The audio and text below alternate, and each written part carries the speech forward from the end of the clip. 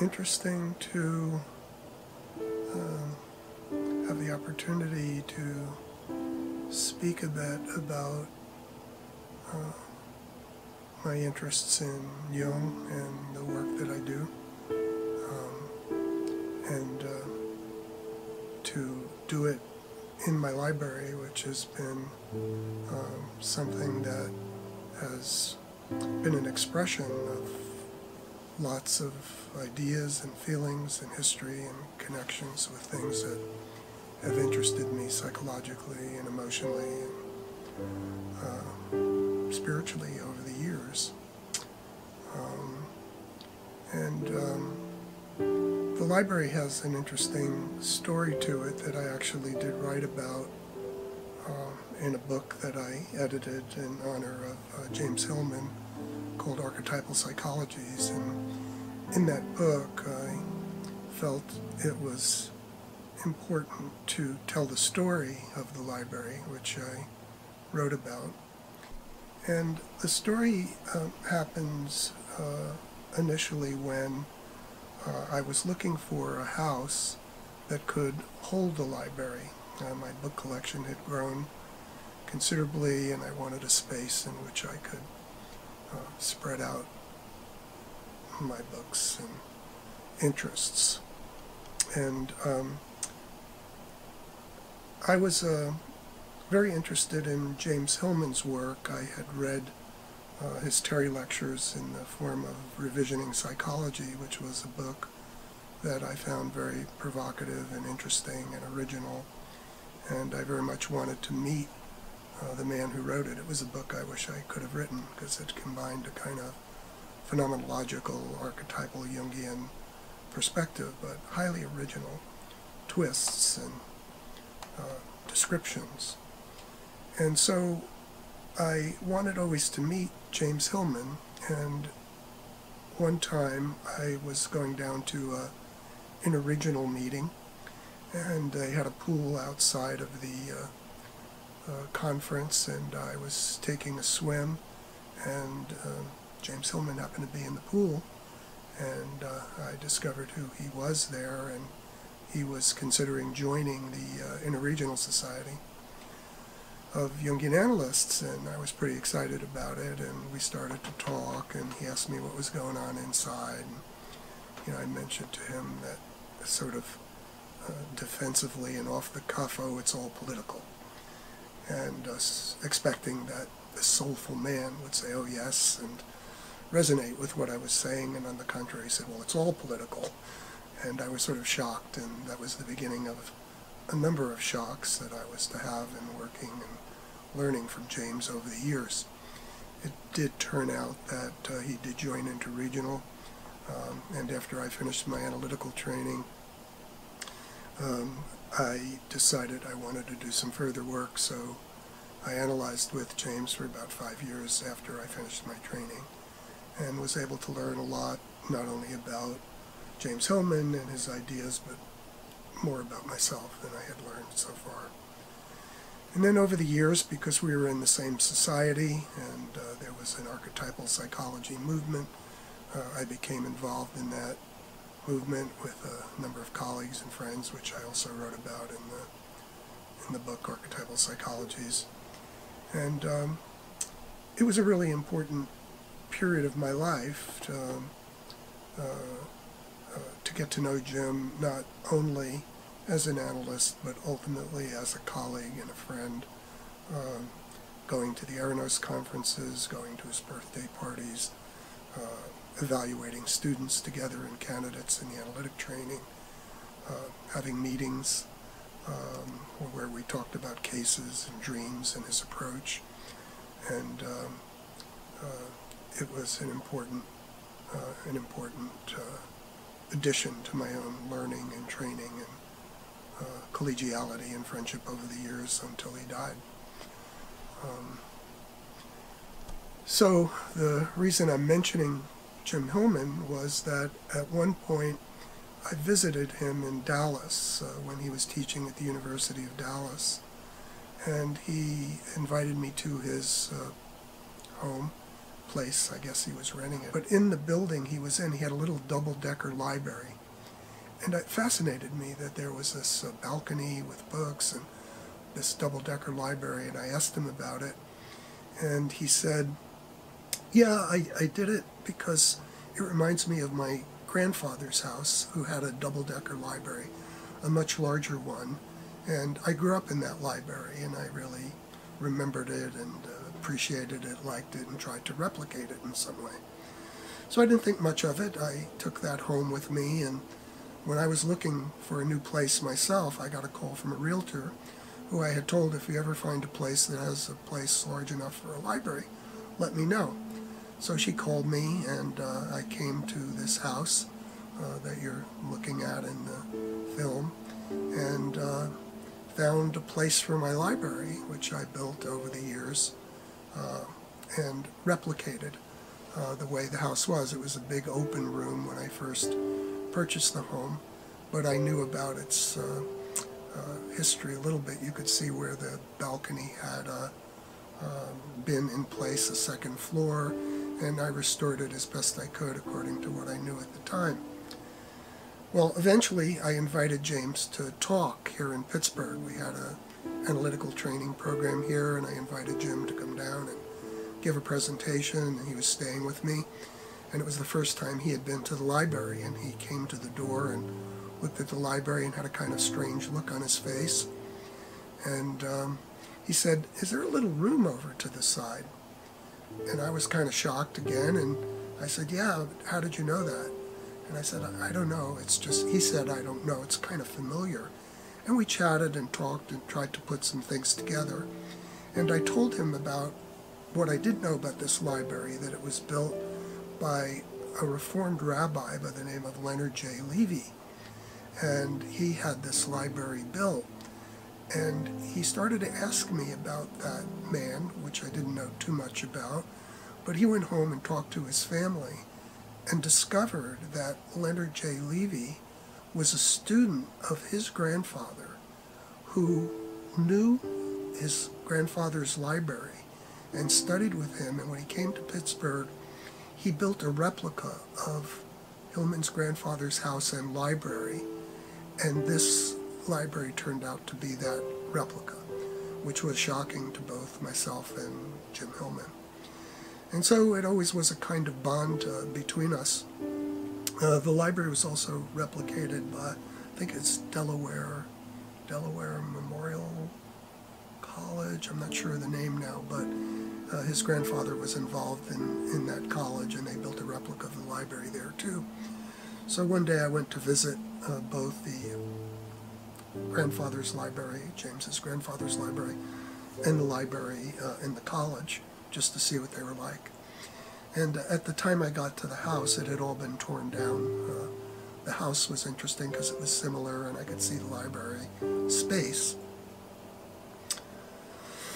so I asked them uh, whether or not there was anything left of the library, and downstairs some of the old shelves were still there. So um, uh, I asked if I could take two of the shelves, one for my library and one for James. And so I took a shelf and had a little plaque engraved on it from his grandfather's library and gave it to him. And it was a kind of bond between us over the years, a strange synchronicity or what to call it, not sure. That here this man who was my mentor and teacher, analyst, um, uh, somehow or other I found my way to replicating uh, not only something I found that was important from his soul to mine, but in the physical world, the library itself. And so it was always a kind of amazing uh, experience. And I remember sitting and in the library and gazing up and wondering about the meaning of the ancestors and the connections between people that are a bit esoteric and maybe beyond what we can really quite explain.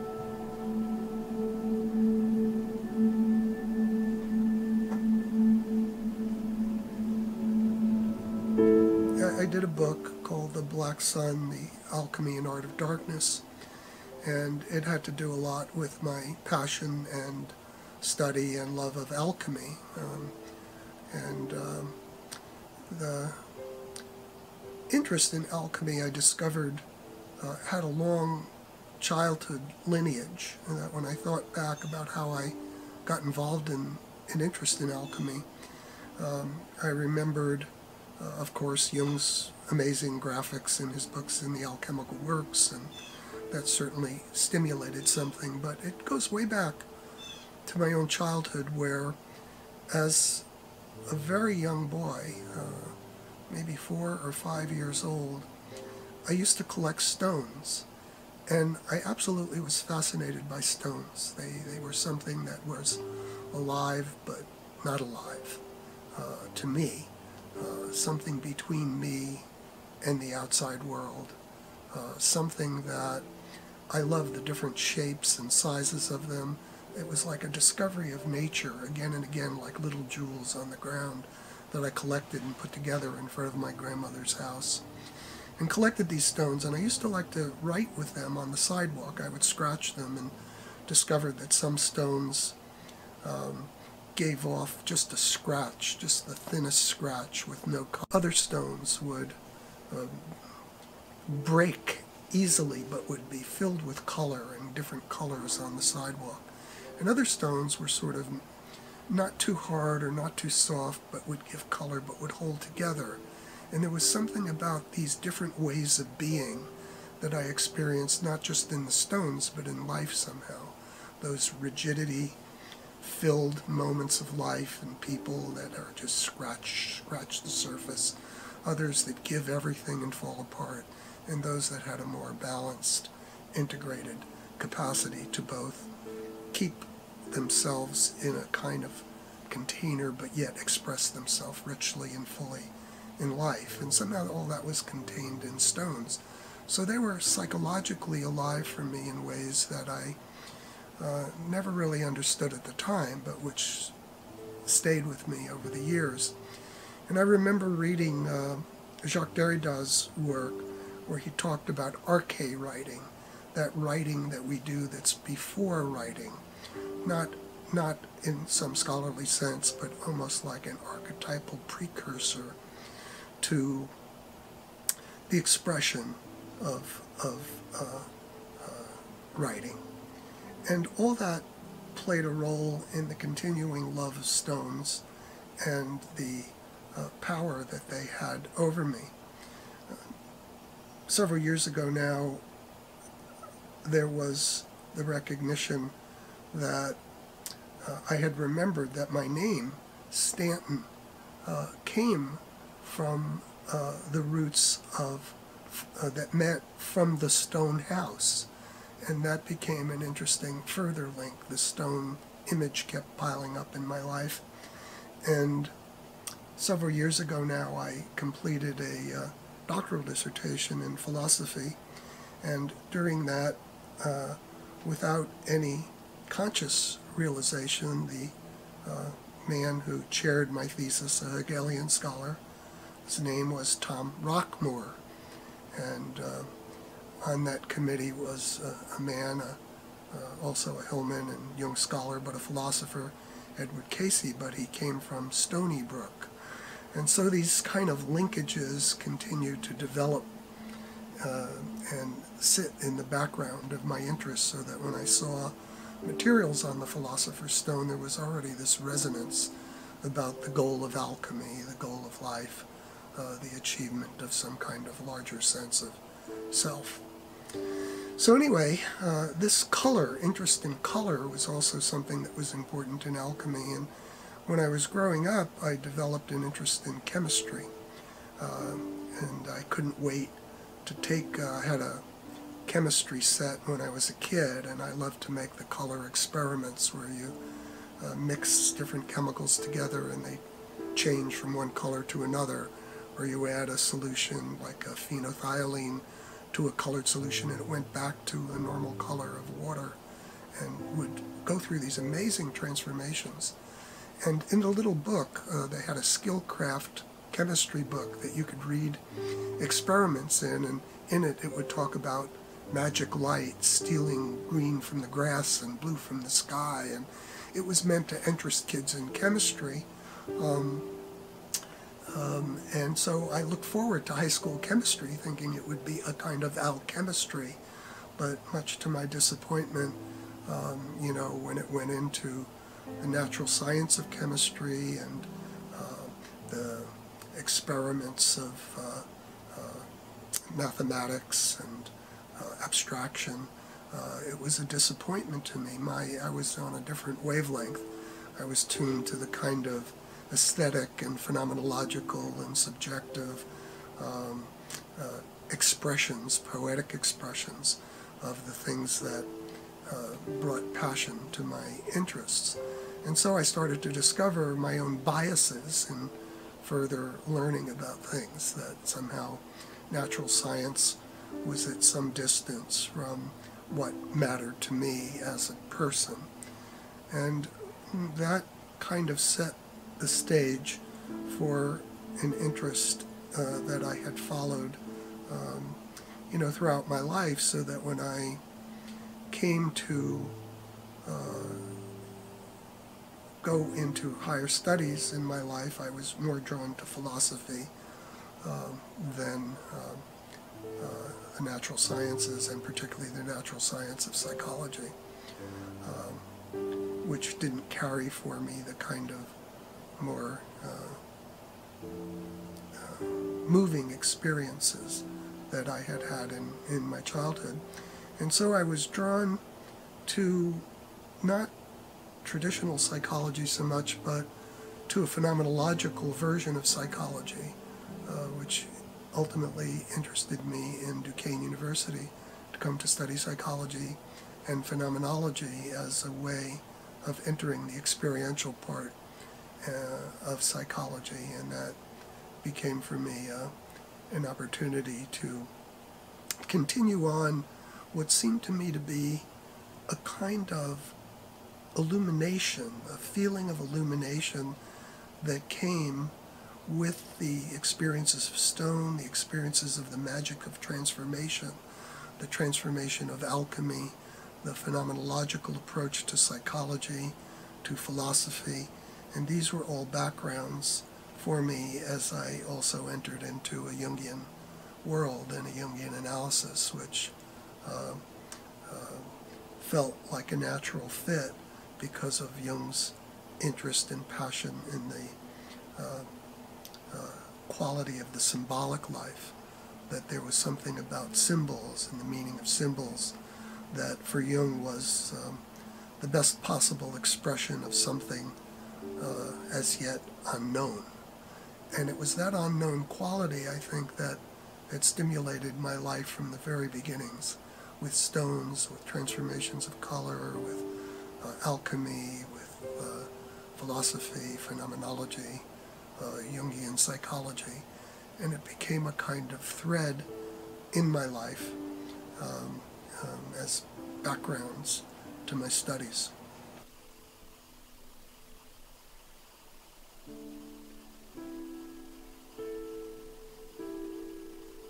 I wanted to say something about uh, the fact that um, these experiences were also enhanced by a period of, uh, of my life in the early days of psychedelic research where I got to know Timothy Leary and Richard Alpert and Ralph Metzner, and uh, I was a student at Bard College, which was up near Millbrook, New York, and so as a student I went up to Millbrook and learned about what was going on there after Leary and Alpert and uh, Ralph, you know, had uh, left Harvard, left Zihuatanejo, Zihuatanejo, I think it was, Mexico, and uh, lived in the Hitchcock estate in this great big mansion where they were doing psychedelic experimentation. And I was a young kid from Bard, kind of a hippie kid who went, knocked at the door, and tried to introduce myself and tell them about my interests. And uh, I remember Richard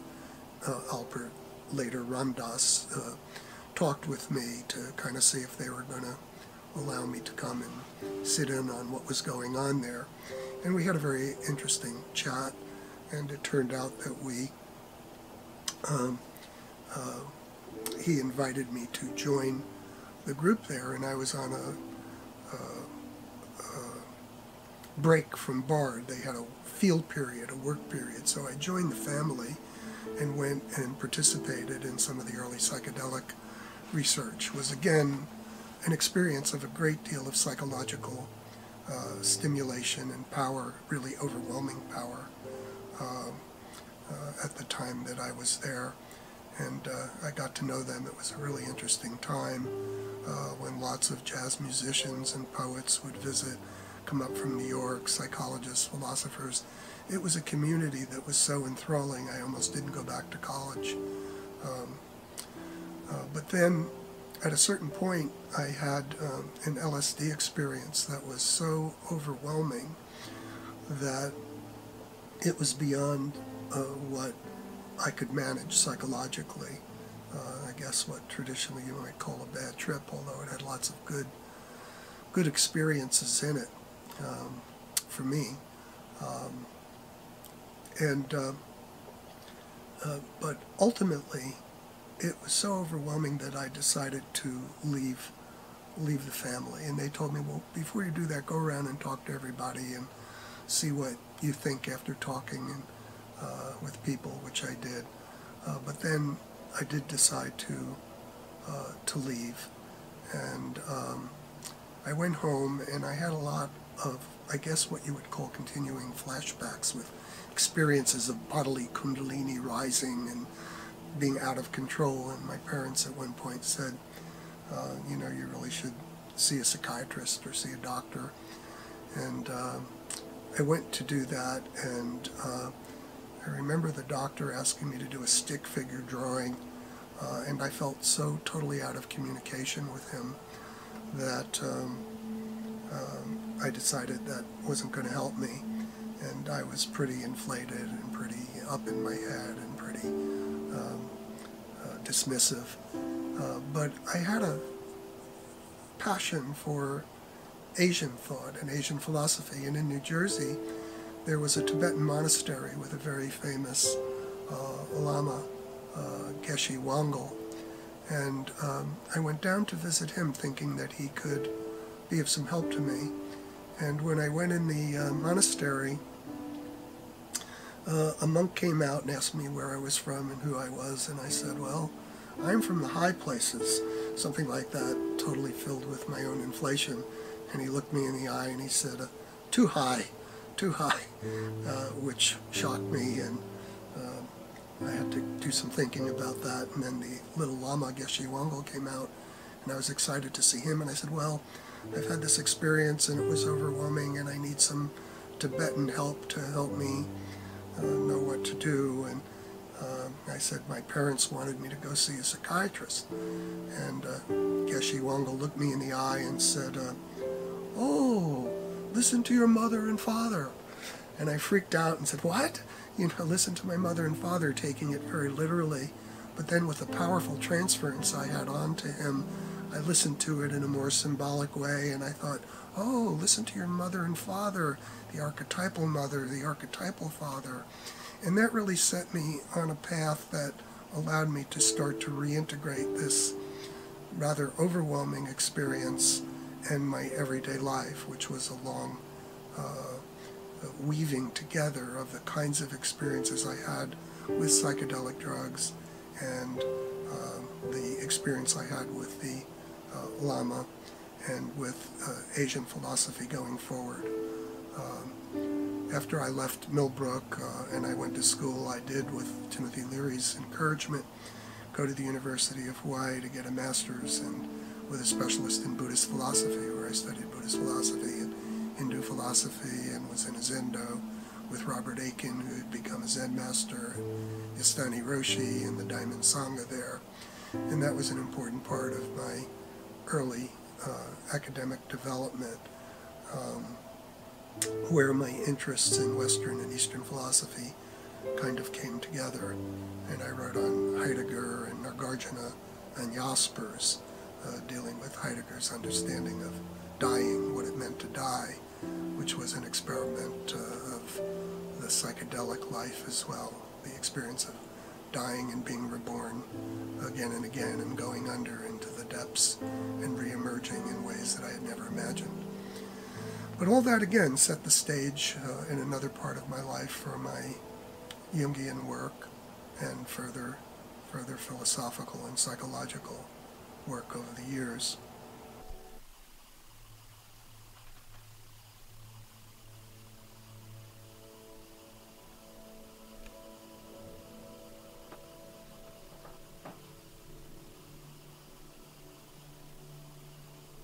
As I think now about the new work that I've been doing, I published a number of papers, but I'm working on a book that's a, a furthering of what was left unfinished in The Black Sun. And in The Black Sun, I had explored the meaning of darkness uh, and the shine of darkness itself, uh, meaning that there was something illuminating in the ability to go deeply into the idea of the black sun, the Nigredo of alchemy, and to discover there an odd kind of light, a light that comes when one doesn't escape darkness or push away from it or run too quickly away into the light or to leave darkness behind, but to enter the darkness and to find there something that was illuminated and something ordinarily bypassed because of the difficulty of the dark parts of our lives, our depressions, our psychopathology, all our struggles. And going into them opened up a new kind of space. But in the Black Sun, I was interested in the light of darkness itself, but I leaned toward the darkness and explored that as phenomenologically uh, and in a Jungian way as I could. But now I realize that I wanted to now do further work on that darkness, but to lean toward the light side of it, not to leave the darkness behind, but to focus on what the nature of illumination itself was about. And that took me back to this earliest story where I started to review my life, where I remember the illumination of the stones, the colors, the illumination of the chemical experiments and the transformations that took place, the illumination that followed me through all the different interests I had, through psychedelic drugs, through Jungian analysis, through Buddhism, through Hinduism, through spiritual disciplines, uh, and the working out of now a book that is in progress called The Philosopher's Stone, The Goal of Alchemy, the Philosopher's Stone, The Alchemy and Art of Illumination. And so that book gathers the things that I've been talking about, but uh, in a more um, scholarly way than I've been speaking about it today, in a more personal way. But these are some of the backgrounds that led, you know, to the development of both my analytic and scholarly interests over the years.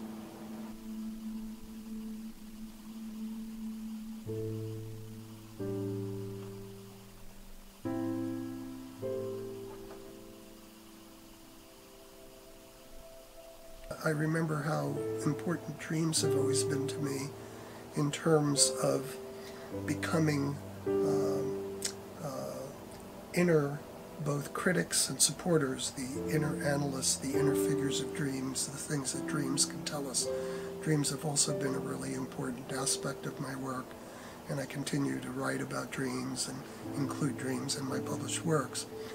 But one dream was uh, particularly interesting that I did write about. I can't remember the paper at this point, but it had to do when I visited um, Jung's home for the first time. I was teaching in Zurich about the Black Sun, and I had taught at the Institute. And I remember visiting Jung's house for the first time, and I was able to go into Jung's alchemical library, into his library, and um, take a look at all the books that he had uh, collected and studied and written about, from the Rosarium Philosophorum to the Artis Auriferae, uh, and to actually have those books in my hands. I was very excited, and I remember looking through the books and studying and writing notes and when I was working on my own stuff. And after leaving Jung's, Jung's library and teaching in Zurich and seeing all the uh, Bollingen for the first time and Jung's carved stone and immersing myself in Jung's world, I remember having a feeling uh, of wanting to have something of Jung's to bring home that would bind me to this experience and to Jung. And I remember picking some stones up off of the driveway and taking them uh, with me. And I don't remember now whether it was while I was still in Zurich or after I got home I had an important dream that I would like to mention. And the dream was one of going to Jung's house. And I went up to the side door of Jung's house and knocked at the door. And Emma Jung came to the door. And I tried to explain who I was, that I'm an admirer of your husband, I'm a Jungian analyst, and I'm here visiting. And, you know, I, I, I'm, it's hard for me to ask this, but I wonder if you could give me anything of Jung's that I, you know, could have. And she says, well, wait here. She went in the house, and I'm really filled with anticipation, standing at the side door, wanting to bring home this connection with Jung that uh, meant so much to me. And she comes to the door, and right at my feet, she lays down a pair of Jung shoes. And I look at the shoes, and I step into them, and they're way too big. And so I had to find my own feet, my own shoes, and that was one of the lessons of being a Jungian, not to be identified with Jung or to imitate Jung, but uh, the critique of the Im imitatio Christi that he talks about, not to imitate, but to find your own individuation, to find your own soul, your own stone.